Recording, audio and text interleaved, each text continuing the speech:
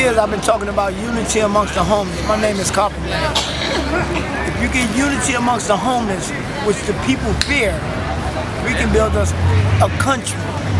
We can build us a community of our own, self-sufficient. We got carpenters, we got brick masons, we got sheetrock layers, we got painters, we got electricians, we got everything we need here. If we just given the opportunity to show what we can do together, we could blow this city off the map, this world off the map. Why don't you think that people give homeless people an opportunity to do that? Because they look down at us, they look at us a certain way. They look at us a certain way. Like we like we less than. Like we ain't human. Like we like we less than them or we ain't human. But we are human, we human beings. We human beings, just like them.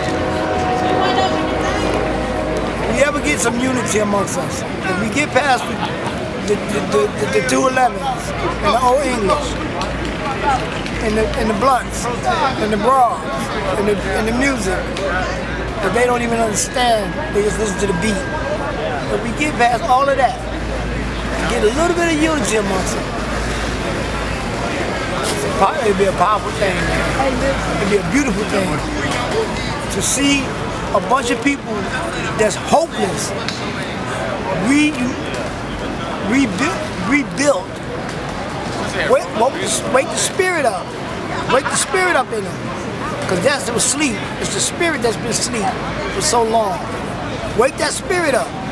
And see that man rise and be a productive member of society. It's a beautiful thing, man. I think Occupy Atlanta, they've helped me stop using crack cocaine. You talking about 30 year addiction, 30 something year addiction.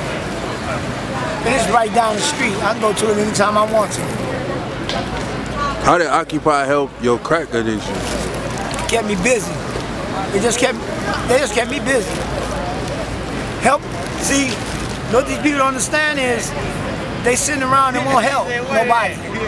But you can't help yourself until you help somebody else. That's when you can help. That's when you can truly help yourself. If you need something, you in need, help somebody else, and watch your needs be met.